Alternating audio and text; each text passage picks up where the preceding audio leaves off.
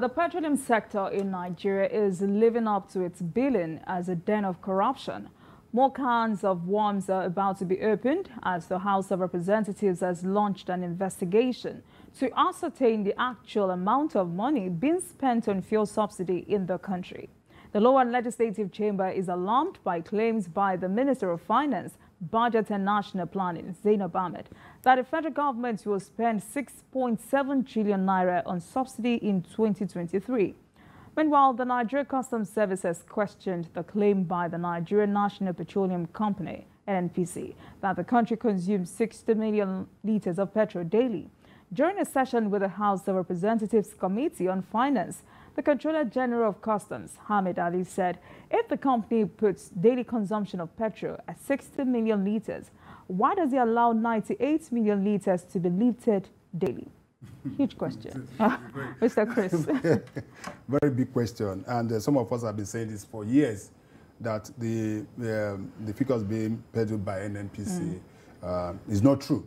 Uh, because if you, just as the uh, custom um, CG said, if you say the daily consumption is about 60 million and 93, um, about uh, 98 million uh, is leaving uh, depots daily. So what the essence, let us even assume that is 60 as we said. What of the asset, what happens? And he mentioned that that excess about, um, about 38 million, we need about 500 trucks to be able to lift that on a daily basis. Where were they lifting it from? Where were they taking them to? And that then why, when you, you know, it's very, very funny the way we act in this country. When somebody come up and start brand, uh, branding figures around you, ask certain questions. you say on a daily basis, for goodness sake, you and I know that we don't fill our cars on a daily basis. I, for instance, I know that on Sundays, I fill up my tank, and that will take me through the week. At least if I'm within Lagos. If I'm traveling, I cannot refill. That also happens to everybody. So I'm out of the equation. So I'm not buying daily again. so same thing with my brother, and I'm sure it's the same thing with you, with everybody. So you, are you telling us that? So for those that are not buying, the only people that you know that buy fuel on a daily basis are those running interstate uh, services. Because if we are moving from here to Ibadan to any other part of the country, that is, so for you to be telling us that ah this is this is the amount that we is and secondly, the same figures were being branded during COVID period. Mm.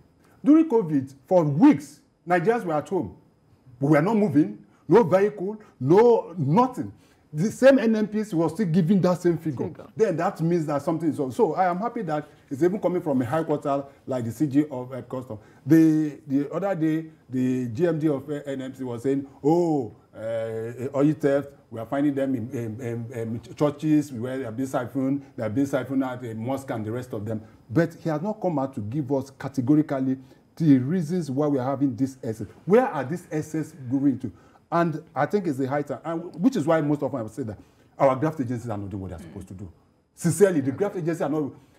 Today, it was reported, although it has been denied by them, that EFCC went to um, officials, which they've denied, um, had uh, some issues with a, a, a Nollywood actress, and she was beaten and blah, blah, blah. And I continue to ask, is that the is that the work of EFCC? Why can't EFCC move into a sector like this? If EFCC move into the oil and gas sector, what we are talking now is not what we'll be talking about. But these guys are just doing whatever. They, this is an agency that have not, remit, have not been remitting money to the federal cof, uh, coffers for years. They are just behaving the way they are. So let us see. But my problem is, despite all the probe or no probe, at the end of it, so you still realize that this will lead to nothing. Mm. There have been several polls in the past by the House of Representatives, by the Senate, and the likes. At the end of it, my sister, let me ask you, where are the reports of those probes? Have they been implemented? That is the issue. All right, BKO, truly, would this um, uh, committee or this investigation lead to nothing?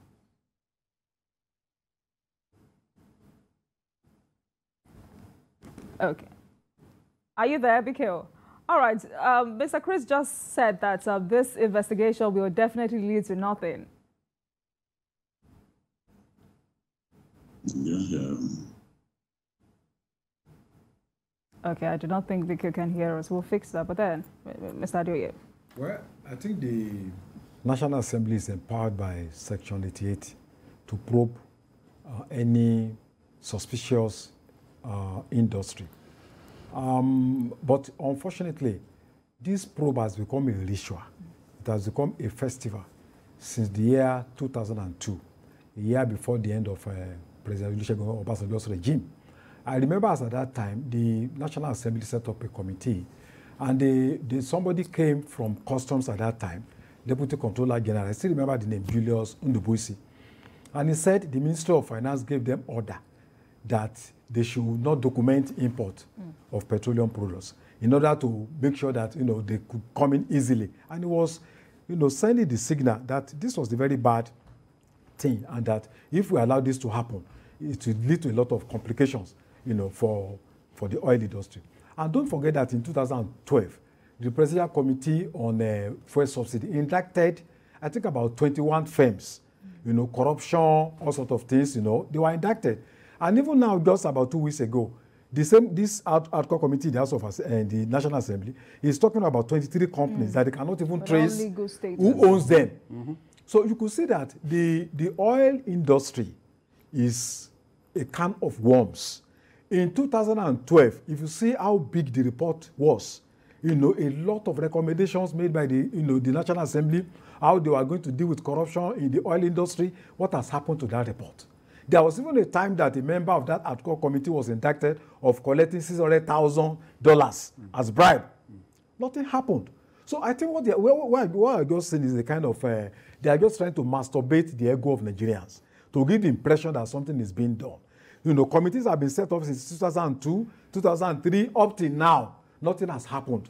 And then you are setting up another committee again. It's a waste of resources. If they cannot go back to the earlier reports, dust those reports up. Mm. And, you know, so the, the, the, the fact is that our lawmakers have interpreted the crisis and contradictions within the oil industry. The point now is to do something decisive, mm-hmm. not just setting up another problem. We have enough reports to guide us on the step that we need to take in order to sanitize the oil industry. All right. Okay. Now, where, where is this corruption coming from? Um, from different sectors. Mm. Um, from the customs, Ministry of Finance, from NNPC, and name it. And uh, to be a bit fair to the National Assembly also, um, it's part of the oversight function to do what they are doing. But don't also forget that they cannot implement and bring the people that were indicted to book. It is the work of the executive. So if after the investigation, they pass on the report to the executive, which is supposed to um, get these people, the, that brings me back, he was talking about it. You've forgotten that we had a power probe some years back mm. that uh, Elumelu yeah. was the chairman. I remember what happened to that report. At a point, became so controversial, and we didn't know. That was a report during the, I think, um, the Good Luck or, mm. or Bossa. That That report today, I've not seen it. The one of the editors, uh, you've forgotten the off the mic, off the mic that we had. Oh, minister off the mic. And people were fainting and mm. rising and fainting at the National Assembly. Where is the report today? So you can see why some of us, especially those of us in the media, feel that this is just, what they're just doing is just um, moving around in, in, in visual circles at the end of it all. The government know what is happening. Those is, our security agents know what is happening. The DSS, the civil defense, come to think of it as well. Civil defense is, is given the responsibility of manning our, uh, the pipelines. At least they have that primary responsibilities. Do you know the, what, how much Nigeria is losing on a daily basis on oil theft? Recently, we just heard of a ship loaded with about 3 million or how many 3 million of um, um, crude oil that was stolen from Nigeria that was intercepted at Equatorial mm. Guinea. From here. And somebody is telling us, uh, will, will, will, will they take a, a, a ship or book to a church? That is, those are not what we're talking about. The government know what is being done. Now a contract is being given to someone like Tompolo to be able to man our pipelines. Even at that, some people are already kicking. Even within the Niger Delta, mm. already they are fighting themselves. Mm. Yes. I heard somebody, some they, oh, He can man the ones within his own. This one, that we did our own. Nothing, nothing. It is, we have to look at the problem holistic. And I will continue to say it. The box fall on the table of the chief executive of Nigeria. And who That's is it? The president. President. You cannot run your private company like this. If you run a company like the way you're running Nigeria, it will die. You don't just do that. The president should be able to call the security agents. Give me the names of those that are. The security agency cannot tell us they don't know. After all, they are saying that they're going to name, uh, name some people. The same thing within our security architecture. Some people were said the government came out through the minister of um, the secretary, uh, the SSG, um, the minister of information and the rest of them, that they know those that were financing uh, terrorism in Nigeria, and they are going to name them. How many of them have been named? Mm-hmm. UAE, uh, Dubai, about four or five, six, seven people were identified as financiers of terrorism in Nigeria. What did they do? Within two weeks, they got them, got them arrested, tried them, jailed them. Even the ones that we have arrested here for um, terrorism, Boko Haram and the rest of them, how many of them have been put to trial? So you could see that there are a lot of impunity, there are a lot of it. And this wasn't part of what the government promised us in 2015. One of the reasons why President Muhammadu Buhari was elected was because he told us that he will fight terrorism, mm. he will fight insecurity. Corruption. And we believe in why? Because a, he was a retired general. But what are we saying? So the issue as it is presently is that why the House of Representatives can do all the probe and the rest of them, even those involved will be laughing because they don't know what will come out of it. Until we're able to hold some people accountable and use them as scapegoats, this will continue. All right, BKO, um, let's have your reaction. You know, I'm really impressed with um, the honesty of the Comptroller General of Customs. He's always been an incorruptible man, very straightforward man. And we said what some of us have said repeatedly he said it without mincing words. You recall that on this program, we had complained about not just the subsidy bill, but the NNPC's claim that we consume up to 101 million liters a day. The Senate president also said he could not believe that figure.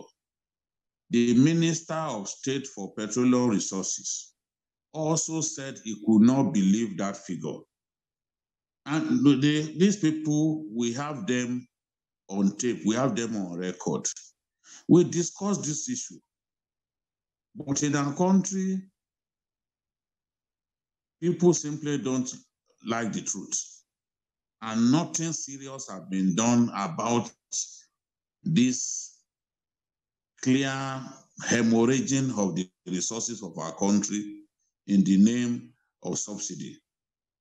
The National Assembly shouldn't have allowed a situation in which the NNPC took it upon itself to determine how much it took from crude oil sales in the name of subsidy payment.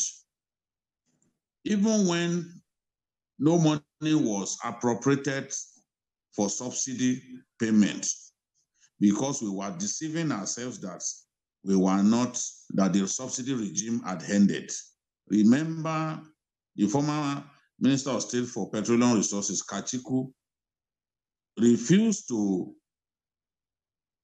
call subsidy by its name he was calling it under recovery and also other ridiculous uh, names.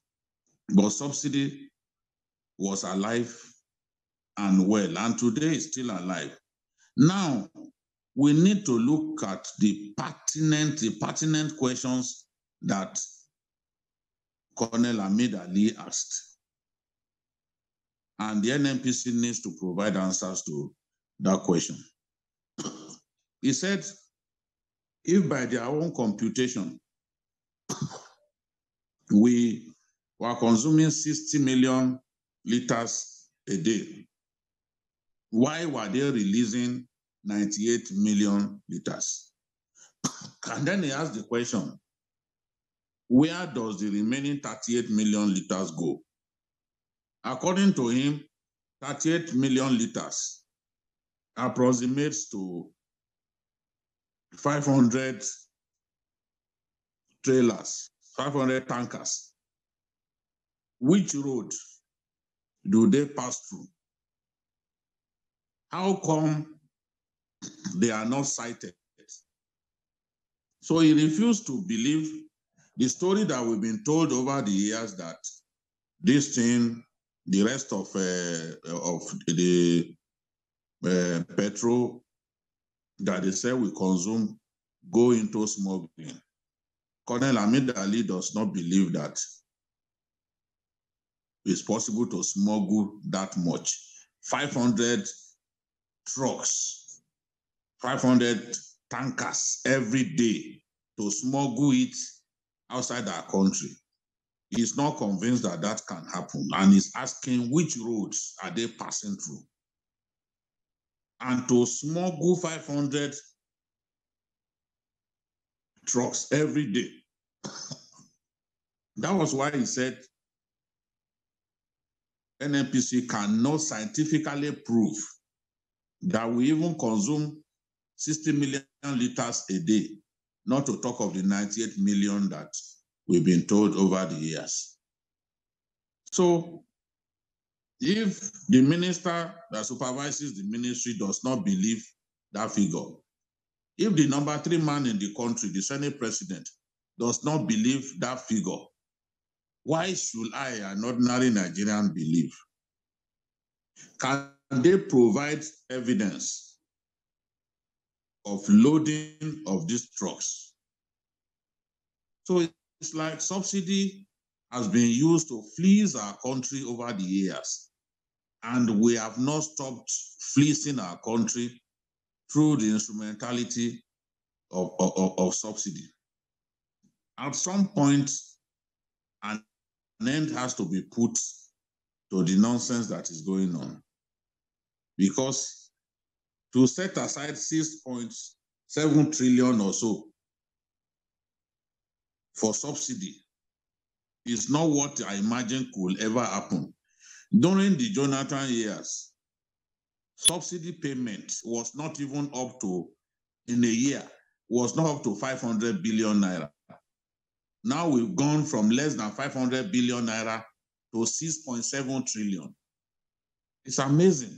It's something that should bother every right-thinking Nigerian because we need money for infrastructure. Some of the money going into this bottomless pit called subsidy can actually be used to build critical infrastructure, can be used to develop our federal institutions, especially universities. So the universities do not even have um, tarred roads. They don't have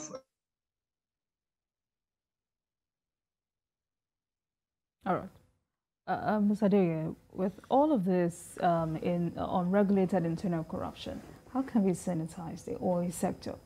Well, I think the first thing is to get it right in terms of which institution, why the National Assembly has the right to, but we also know that members of the National Assembly are politically and economically exposed. So for me, I would suggest an independent judicial inquiry that will be made up of some credible Nigerians, where people will come and you know submit reports. You know, we have a lot of people you can you know retired judges that Nigerians have some high level of confidence in them. Then also it's also important that it's right time for us to have a substantial minister of petroleum. For now, is the president that yeah, combines president. that function. Mm. I mean, it's, it's going to overburden him. Let, let him, you know, shift this responsibility to another person. Whether we are going to update Silva from state uh, Minister of State of Petroleum to substantial minister, so that somebody will be held responsible for what is going on. But I can tell you that uh, petroleum industry, until we begin to refine industries at home, I mean uh, petroleum at home, you know, until we ensure that, you know, uh, there is greater stakeholding of oil producing communities in the management and control of petroleum, this industry is going to become a kind of um, the, the, you know a, a kind of a, a, kind of room for people to just uh, you know uh, pile up money, public money into their private pockets. Nothing will change unless there is political will on the part of those in power. I don't see that now. He mentioned the FCC, right? The FCC will even be better than the National Assembly, my own opinion. Mm. Because they are a little bit independent from the political class, bit, mm. even though they are not totally immune mm. from political manipulation. So let's have a situation why the FCC, for instance, can go into your industry and let us wait for maybe we are going to have a different report. But when you have the National Assembly since 2002, probing, probing, probing, there's, you know, there's no hope that the outcome of this current probe will be different from what we have had in the past. All right, Mr. Chris. Yes, um, unfortunately, we thought that uh, by the passage of the PIA, that the problem within the oil sector will be solved. But from what we are seeing, it's like is we're back to what we're used to. And um, as rightly said, and I will also um, align with that, is we need to do the, the needful. And what are the needful? Until we start producing our petroleum in Nigeria, we'll have this issue. Until we stop depending on importation, there are some people benefiting from uh, this importation. And that is why they don't want the refineries, refineries to work. Do you know how much is being popped into the Nigerian um, refineries, the one in Warri, the one in Port Harcourt, and the one in Kaduna on a yearly basis for turnaround maintenance? And not a single drop of oil, petrol has been refined mm. in any of this, this thing. And that's what I'm talking about EFCC. You continue pumping millions and millions of dollars for turnaround maintenance. And nothing is, being, nothing is being done. So until we, we do the right footing, this government, when coming in 2015, promised that they're going to set up refineries new refineries. Till now, you just have barely about eight months to go. There is none. So it is a very big problem. We have a big elephant in the house. And it's like we don't have anything to do about it. But my own personal opinion is that this so-called uh, subsidy or no subsidy is fraud. It's fraudulent. And remember in 2014, before the election, the president himself said there's nothing like subsidy. Mm. He said it at Chatham House in London when he was being interviewed. He said anybody that can prove that subsidy in Nigeria should come and prove it to him. Now, he has back subsidy. And from, like Jide rightly said, from about 500 billion to about 6 point, how many trillion now? 7 trillion. They are in deep trouble. In a situation where we are borrowing to service our budget. We are borrowing to service our, most of the debts, we are not even servicing the debt. What we are even servicing now are the interest on the debt and it's keep on piling on a daily basis. And I continue to ask, do we have an economic team in this government? Do we have an economic team in this government that can take out of the box? We know there are we know there are problems over, over mm. everywhere. We know the problem in Ukraine. We know the problem in, between Russia and Ukraine and the rest of them that um, have been able to put a kind of span in the works. But that notwithstanding, countries are making are going are moving ahead. Why can't Nigeria do same?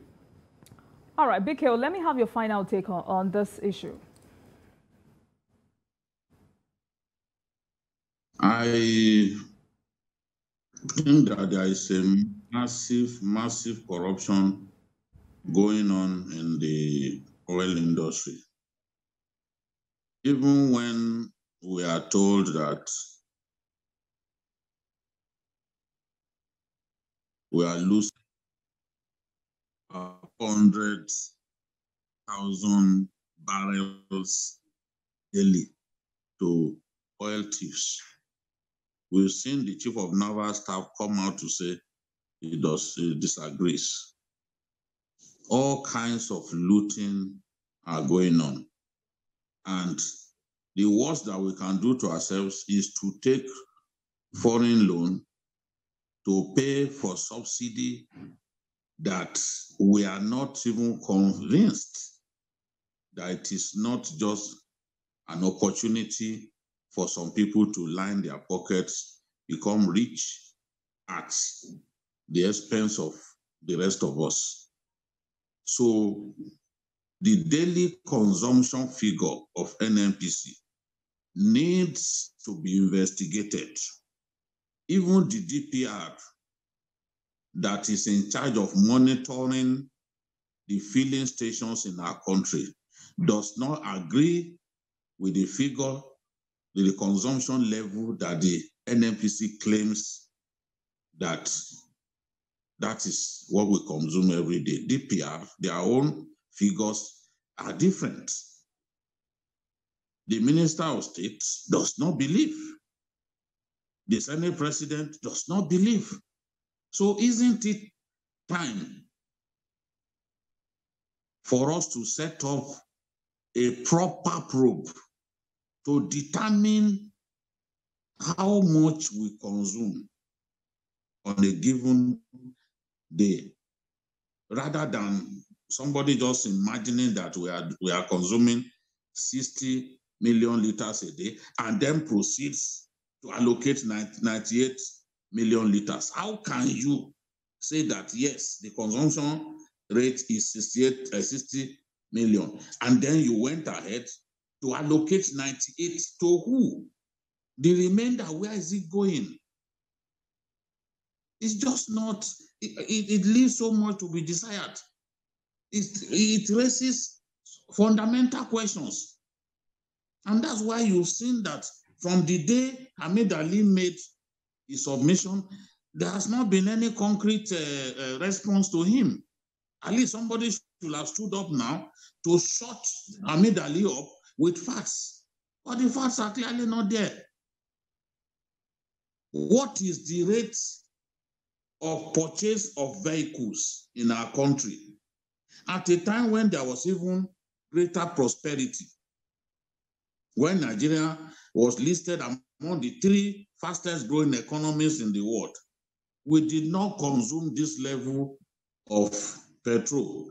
Are we now being told that more people are buying cars now in a season of of uh, of uh, uh, economic depreciation than when we had